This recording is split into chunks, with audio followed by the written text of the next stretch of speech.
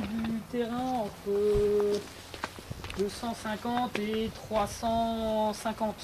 Euh, là aujourd'hui, euh, vu l'état, j'aurais plutôt tendance à dire 250, 300 euh, selon, le, selon vos gabarits. Donc ça c'est pour l'arrière, à l'avant entre 450 550 selon, selon le type de terrain. Euh, après position, position des commandes, euh, dans, on dit dans l'alignement des, des, des bras. Alors pas trop, pas trop bas non plus comme on en voit certains. euh, c'est peut-être dans l'alignement pour ceux qui sont grands, mais plus c'est bas, plus vous aurez de mal à les attraper en descente quand vous mettrez votre corps sur l'arrière pour, euh, pour éviter de passer devant. Donc plus ou moins euh, à l'horizontale, Euh, pas trop non plus parce que sinon vous cassez les poignets. Aussi, pas trop serré.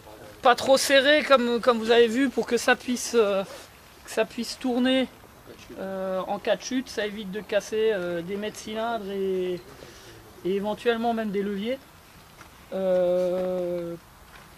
Après, euh, Position du guidon.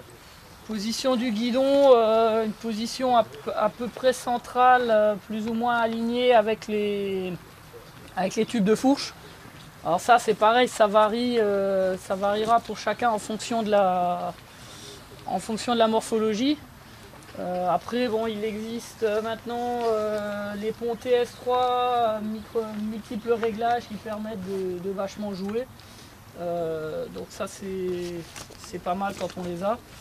Euh, autrement, euh, Le- un guidon fort en arrière vous donne de l'adhérence, vous donne en avant beaucoup plus flou.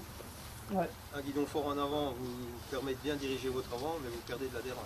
après, le pro- euh, ce qu'il y aura aussi, c'est qu'un guidon trop en avant, vous aurez plus de mal à tirer sur le, sur le guidon pour lever la moto parce que vous allez avoir tout votre poids, tout votre poids qui est dessus. Euh,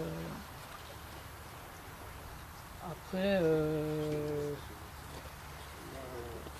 Sur les motos modernes, euh, bon, les pose-pieds ils sont bien placés et tout.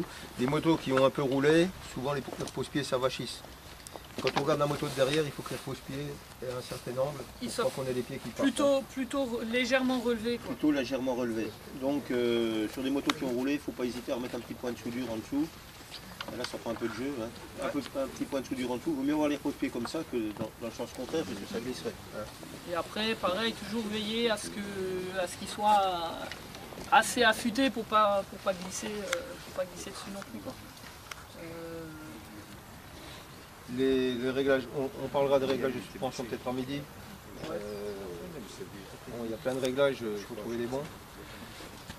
Euh, le, le primordial, c'est d'avoir l'avant, l'arrière qui soit, euh, en soit- coordination. qui voilà. soit en coordination. Donc, euh, quand on, quand on appuie sur la moto à peu près au, au milieu du centre de gravité, la moto descende parallèlement devant derrière. Donc euh, pas qu'il y ait l'avant qui plonge et l'arrière qui reste statique. ou- Après, ce qu'il faut ve- veiller aussi, ouais, justement, c'est qu'il y ait un petit jeu mort euh, de, de 1 cm, 1 cm et demi au niveau de la, de la suspension. Si votre ressort est trop, est trop tendu, euh, vous n'arriverez pas à diriger euh, correctement la moto parce que vous ne ressentirez rien au niveau, de, au niveau du train arrière. Euh, Autre chose importante, il faut souvent démonter le bras oscillant et les biellettes et graisser les roulements. parce que ça grippe facilement, ça, grippe, prend du jeu. vite, ouais. Et vous ne pouvez pas espérer avoir une bonne suspension s'il y a du grippage.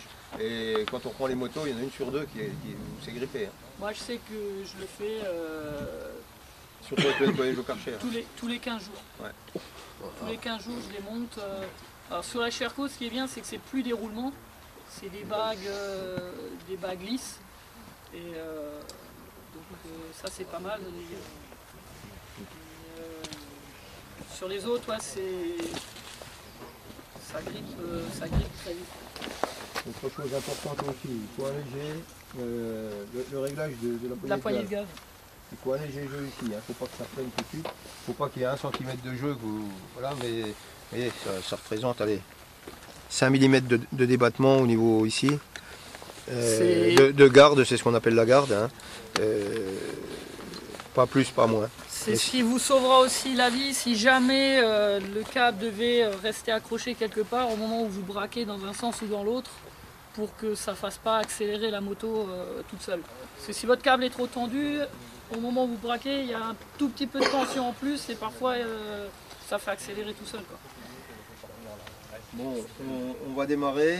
Euh, ceux qui veulent régler leur pression, on a des manos, vous amenez vos motos ici, puis on va, on va commencer par ça. Hein